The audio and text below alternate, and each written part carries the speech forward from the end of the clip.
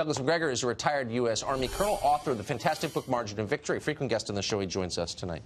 Doug, thanks so much for coming on. Sure. So, what would be the reason to stay in Iraq at this point? I can't think of any, to be perfectly blunt with you. Uh, I, none that are any good. There are people who sympathize with those Arabs in Iraq who would like us to stay as some sort of counterweight to Iran. But frankly, we have no vital strategic interest that, that compels us to be there. The president is very lucky. These missiles, as you pointed out, were targeted uh, in advance, and we were informed in advance of where they were going to land. So we were able to evacuate soldiers, sailors, airmen, and Marines and have no casualties. The president made a right decision not to respond. Now he needs to live up to the promises that he made to the American people and pull us out of both Syria and Iraq. That war is over. We lost it. Iran is a winner for the moment but it won't be a winner for very long because Iran has to compete with the Turks and the Sunni Islamists for control of Iraq.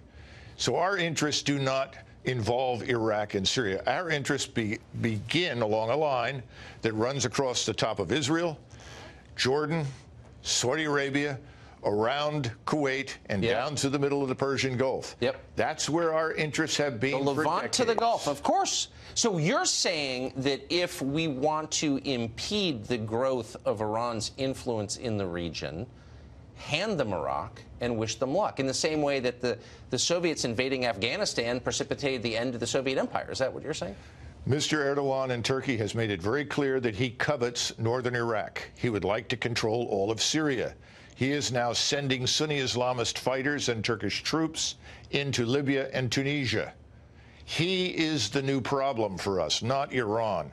Iran really is on the ropes. Its population is sick to death of the wars that have been fought in Iraq and Syria by proxy forces and by Iranians in the Quds Force. They've taken thousands of casualties. Mr. Soleimani was popular with many, but very unpopular with others, especially the people that lost sons fighting in those countries. Yes. Let's get out, leave it alone, let the people there sort it out. And they will.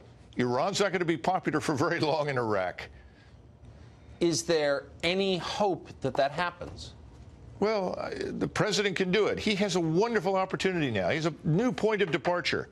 He can take the clean sheet and, and put it on the table, and, and he can sit with the Iranians and say, look, what are your interests? Tell us. We'll tell you what ours are. And he can draw that line that I mentioned. That can become the Trump line. And that's how great powers sort things out. But there's no support in this country to stay in Iraq and Syria. There is no support in the United States for a war over there. He knows that. So we have two, two groups of people that know something. The leadership in Tehran knows it doesn't want a war with us. We know we don't want a war with them. What a wonderful opportunity to sit down and sort it out. The only impediment is permanent Washington. Yes. As always. Colonel, thank you so much for that. I appreciate it.